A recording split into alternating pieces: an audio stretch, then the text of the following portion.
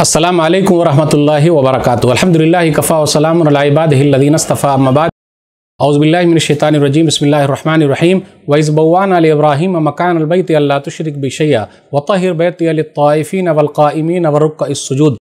ناظرین اکرام میں نے سورہ حج، سورہ نمبر بائیس کی آیت نمبر چھبیس آپ لوگوں کے سامنے پڑھی ہے۔ اس مناسبت سے آج میری نشست کا عنوان ہے، کیا خانہ کعبہ کا طواف پہلی مرتبہ لکا؟ ناظرین اکرام کورونا وائرس پوری دنیا میں پھیلتا جا رہا ہے۔ دیکھ لیجیے، پندرہ ہزار کے قریب لوگ اس کی لپیٹ اور چپیٹ میں آ چکے ہیں۔ چائنا سے یہ شروع ہوا اور چائنا کی دیوار کو پھلانت کر کے پوری دنیا میں پھیل گیا۔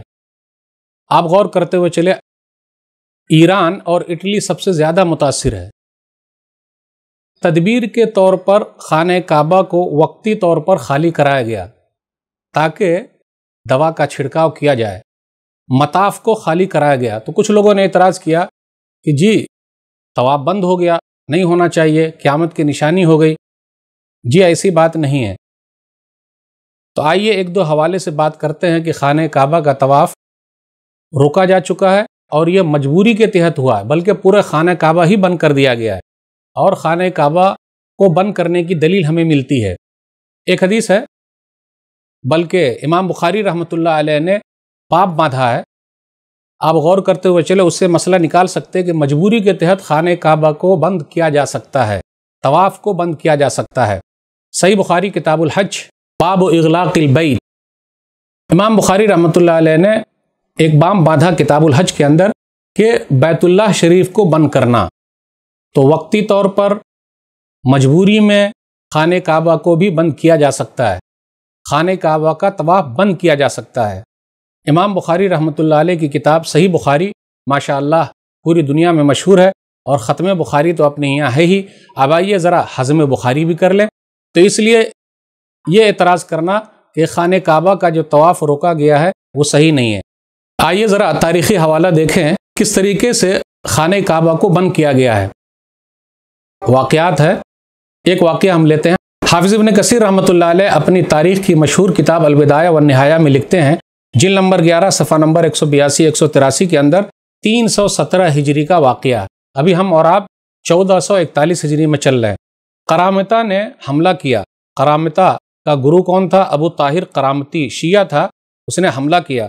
کعبہ کے دروازے پر بیٹھ گیا اور وہ اپنی پوری فوج کے ساتھ جو گیا تھا، تو وہاں کیا ہوا؟ خانہ کعبہ کے اندر۔ وہ سیوف و تامل و فناس فل الحرام فی شہر الحرام۔ و یطوفون فیقتلون فی لم یغسلو ولم یکفنو کہ تلواریں چل رہی ہے خانہ کعبہ کے اندر، مسجد حرام کے اندر، لوگ طواف کر رہے تھے، ان کا قتل کیا جا رہا تھا۔ اور ابو طاہر کرامتی کے بارے میں آیا کہ وہ خانہ کعبہ کے دروازے پر بیٹھ گیا۔ اور اس کے بعد اس نے کیا کیا؟ فقط الفی رحاب مکہ و شعابہ وفی المسجد الحرام وفی جوف الکعبہ مین الحجاج خلقا کثیرہ اور اس نے خانہ کعبہ کے ارد گرد اور خانہ کعبہ میں مسجد حرام میں بہت سارے حاجیوں کو قتل کیا۔ وہ امرا بقل باب الکعبہ اور اس نے خانہ کعبہ کے دروازے کو نکالنے کا حکم دیا اور نکال لیا گیا۔ اس کے پردے کو بھی نکال لیا گیا۔ ثم قلع الحجر الاسود اور حجر اسود کو بھی نکال لیا گیا۔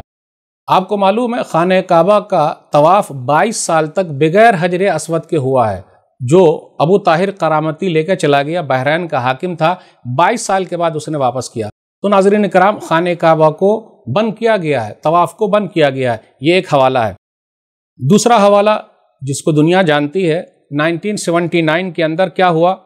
بیس نومبر کو خانہ کعبہ کے امام عبداللہ سبیل نے فجر کی نماز پڑھائی، جیسے انہوں نے سلام پھیرا، ایک گروہ نے ان سے مائک لے لیا۔ کیا ہے وہ؟ جوہیمان اتیبی محمد بن عبداللہ قحطانی۔ ان لوگوں نے یہ کیا، کہا کہ دیکھو، مہدی آ چکے ہیں اور کہا جاتا ہے کہ اس وقت ایک لاکھ کے قریب لوگ وہاں موجود تھے۔ تو ان کے گروپ نے بہت سارے لوگوں کو یرغمال بنا لیا۔ اور اس کے بعد یہ کہا جاتا ہے کہ شاہ خالد نے بتیس علماء کی کونسل بلائی اور ان کے مشورے کے بعد ان پر حملے کی اجازت مانگی۔ اس کے بعد یہ بھی کہا جاتا ہے کہ فرانس سے تین مشہور لوگوں کو بلایا گیا۔